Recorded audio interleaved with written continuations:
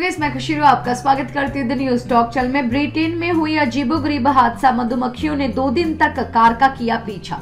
चलिए, हम आप लोगों को बताते हैं ये पूरी घटना के बारे में, जो कि आप लोगों को काफ़ी ज़्यादा हैरान कर देगी कि आखिरकार मधुमक्खियों ने ऐसा किया क्यों है। क्योंकि इसकी वजह जो है, साइंटिस्ट ने बताई है। साइंटिस्ट से इसकी वजह पूछी गई है। उन्होंने हैरान कर देने वाली वजह के बारे में जानकारी दी है।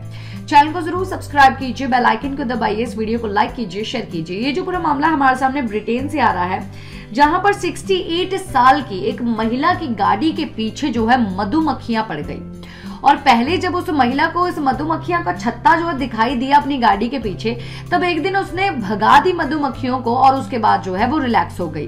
पर जब उसने दूसरे दिन देखा कि मधुमक्खियाँ फिर वहाँ पर ही आके बैठी हैं, तब वो काफ़ी ज़्यादा घबरा गई और उसने रेस्क्यू टीम को इसके बारे में सूचित किया।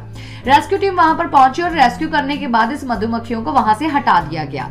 इसके बारे में जब साइंटिस्ट से जानकारी ली गई, तब उन्होंने काफ़ी हैरान कर देने वाली जानकारी जो है सामने रखी। उन्होंने ये चीज़ बताया कि ये मधुमक्खियाँ, बीस हज़ार मधुमक्खियाँ थी, जो कि दो दिन तक इस महिला के, जिसकी एज 68 साल है, वो उसकी गाड़ी का पीछा इसलिए कर रही थी क्योंकि मधुमक्खियों की रानी जो है, वो एक्चुअली में बाई चांस इस गाड़ी में फंस गई थी।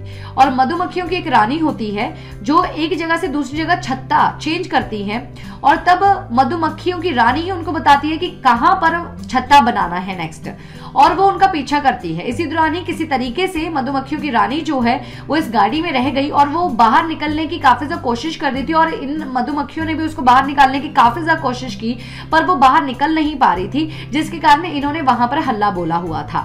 हालाँकि रेस्क्यू टीम ने जो है इनको बाहर निकाल दिया है और इसीलिए वो मधुमक्खियों की रानी भी जो है वो बाहर निकल चुकी है। इसीलिए जो है मधुमक्खियाँ यहाँ पर वापस नहीं आई हैं। अगर रेस्क्यू टीम भी मधुमक्खियों की रानी को निकालने में कामयाब नहीं होती तो रेस्क्यू टीम के बाद भी, रेस्क्यू करने के बाद भी ये मधुमक्खियाँ फिर दोबारा से वहाँ पर आती।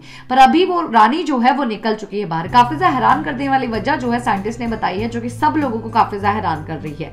इसी के साथ मैं लेती हूँ इजाज़त। नमस्कार।